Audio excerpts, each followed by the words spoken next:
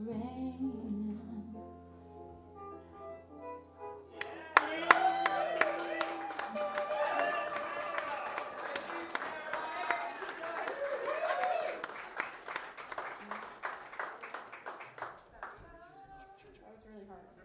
right, give it up for Tamara, ladies and gentlemen. Yes, that was beautiful.